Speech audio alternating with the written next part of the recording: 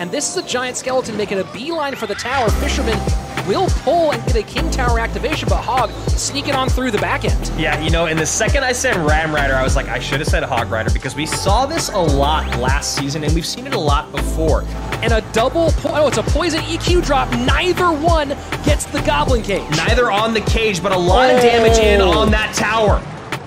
Magic Archer oh. cannot put it quite in range. Defensive freeze, and here you go. Quesos, wow. Coochie, and Benny take game number one. Damage lead, elixir lead, pressure like crazy. Things looking very difficult for SK. Yeah, SK still down a game here. Has to win this one if they want to stay alive in this 2v2 set, but Queso making that near impossible. Huge opportunity. Freeze should be back oh, in cycle. Wow. Two balloons down. Rage, and the clone can't do it. Fireball oh my comes gosh, in. Rich, G, that... G, well played. This rare, I mean, this level of matchup differential rarely happens in 2v2, right? If you, if you look at any of the pros and coaches talking about it on Twitter, yeah, you'll see them talk about how 2v2 is is the skill game in CRL. This is strong, and it's absolutely brutal against what we think they'll do again. Getting the win here in the opening set. Fireball clears out Skeleton Dragons and back around to them one more time. Final 30 seconds. Oh. Ram Rider in on the right. A great heal spirit on the left to bring out those skeleton dragons, and now Ram Rider left. RG in. Royal Giant has nothing in its way. That's going to be yeah. it. RG going to take the tower on the left-hand side. I am JP had a moment, but Sam calm, collected, and you see a bit of a breath there.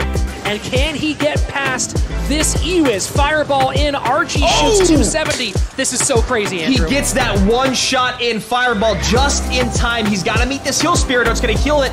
He doesn't get it in.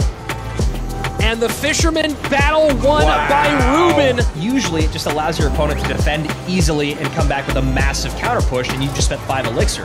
The problem is, is that now Graveyard plus Snowball has become so devastating. Slows that tower down just enough, and Ruben takes that with barely taking a lick of damage. And just look at the huge chunk of damage that Javi's getting here. If this were 30 seconds earlier, we'd be having a we'd be going, oh my gosh, look at all that damage. Yep. It's too little too late. Javi playing way too far behind. Mega Knight in front of the pigs. No building to pull them now. Fireball will clean them all the way off with the help of the Skeleton Dragons, and now it's Ruben's Musketeer staying on the board for quite a while. And I love that Javi did not fireball that Musketeer. Instead, he saves the Elixir to get the Mega Knight back out, keeps his Musketeer alive again. Now goes Hog Rider, or excuse me, Royal Hogs plus the Fireball if necessary. Cage down, 419. Fireball cycle here from Ruben, trying to beat out Javi in this moment. Fireball cycle the opposite direction. Mega Knight isn't available. Pig sneaking through. 402 Fireball just oh, barely does it. Heal Spirit does climb on through, and this is going to be, no, Fisherman pulls the Mega Knight back. Nice high Fisherman, good wherewithal from Ruben, but that Skeleton Dragon gets tanked for for a long time, going to be a ton of damage in the left-hand side. The Fireball value has been immense so far, and no big spell for Ruben in this deck. Oh, that's going to do it. That Heal Spirit was just perfect from Javi Catorce.